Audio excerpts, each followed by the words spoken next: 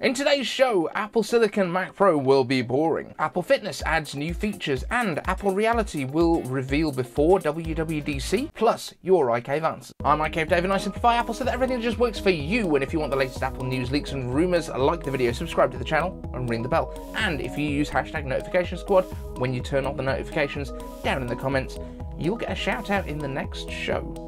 Last week we talked about the Mac Pro, and yesterday Mark Gurman said, nah, it's going to look like the last one. So Apple is expected to release new Mac Pro this year, and not only will it be not interesting to look at or innovative, but despite being probably eight times the size of a Mac Studio, it won't have a faster chip, topping out apparently with the ultra level chips or dual linked maxes in effect, but it will also not allow you to add more memory as the memory will be unified as expected and a part of the board with the existing Apple Silicon product lineup chips.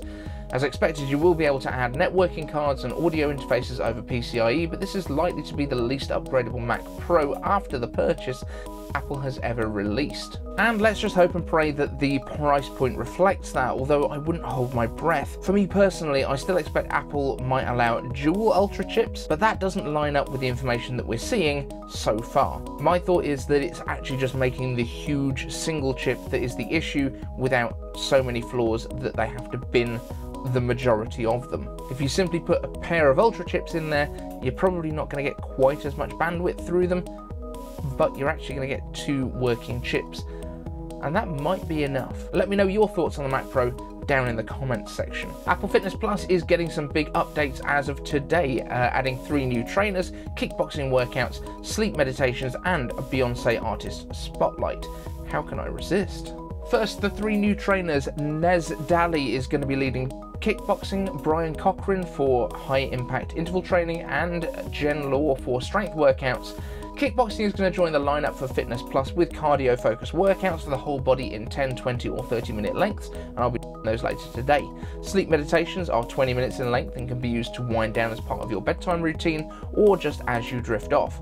Apple has also added two new collections six weeks to restart your fitness and level up your core training. And honestly, I didn't even know that collections were a thing before, so this is going to help me personally massively. Next up, Apple Reality currently going to be released to the general public in a special event before WWDC in early June, with its sales release around the end of 2023. Now, it seems very strange to hold an event as late as May, perhaps simply launching at WWDC alongside resources for devs would make more sense to me, although WWDC can be pretty dense information wise, so to hit regular consumers, maybe this is the right play. Now this could come as more of a kind of standard press release and not so much a full-on Apple event, but I feel like Apple wants to make a big buzz about this, so I, am not sure. Maybe they're going to announce it during the spring, release some developer stuff and then give more detail at WWDC so that people can refine it. I don't know. Let me know your thoughts in the comments. Now, Apple Reality is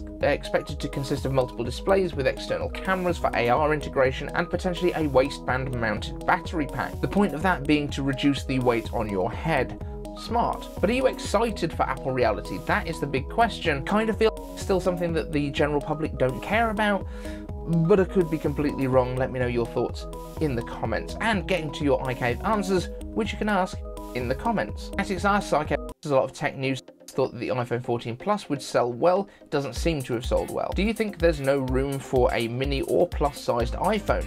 Or was it priced incorrectly? Was Steve Jobs right to limit the choice on the model range? And what could Apple do differently? And this is a great question. I personally think that I think the iPhone needs to be the iPhone. I think they need to have one phone that is the base iPhone, and then if you want to do variants on it, they should all be a premium. So in the same way that we have an iPad and then the iPad mini is more expensive and more premium, uh, I think maybe we should do a mini Pro. Uh, so it's like the Pocket Pro or something like that. I'm not sure. I think the, the big issue here is that we went $7.99, $8.99 for the regular iPhones and then $9.99, $10.99 for the Pro iPhones, whereas the Pros got huge amounts of new uh, features uh, uh, and the regular iPhones almost got nothing. They got car crash detection and SOS via satellite. Two things that basically are not going to affect your day-to-day life. So I think the the issue is that there was nothing that would genuinely improve the experience for most people. There were a couple of nice add-ons, but not something that you would buy the phone for unless you happen to be an adventurer, in which case you can go up to the pro ones. I really think that the SOS via satellite is something that could have been a pro feature. I don't think putting safety as a pro feature is also something that Apple wants to do. It's a very confusing setup.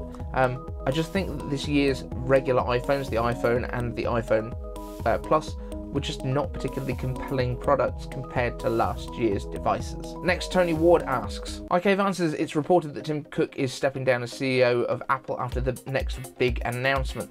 He's certainly grown Apple's profitability and share price. I suspect this has been at the expense of innovation, creativity, and product excellence. We certainly have more iPhones, iPads, and Macs to choose from, but they are all evolutions of Steve Jobs' concept. What is truly new? Who do you think should lead Apple going forward?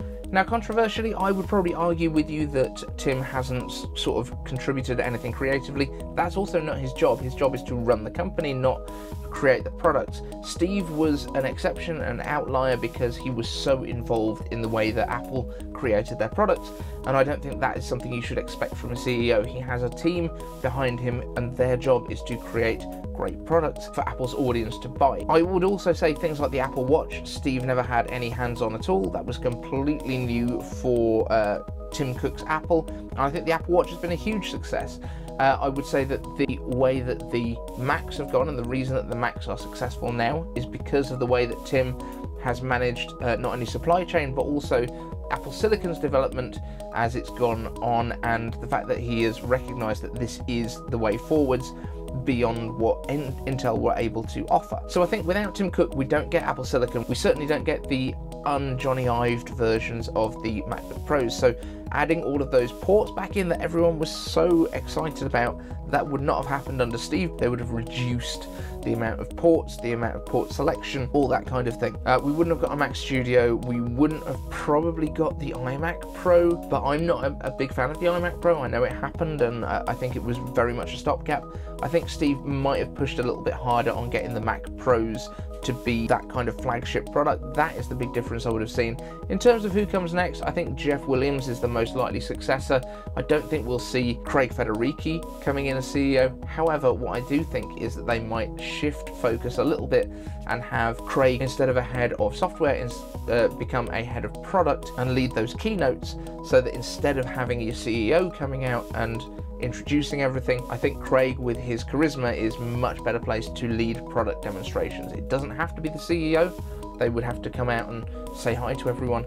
But I think Craig would be better at tying everything together. James Apple asks, Will we get micro LED on the Apple Watch Ultra by the fall? I asked Rick Ross Young, aka Ross Displayman, and he said it's possible, whatever to strange that means. Looks more likely that we'll be getting uh, Ultra Apple Watches with for some reason even bigger displays next year in 2024. Uh, I don't think they're going to change it up that, that much this year. It might even be that we don't get a refresh to the Ultra this year. I could see that being an every two years kind of thing.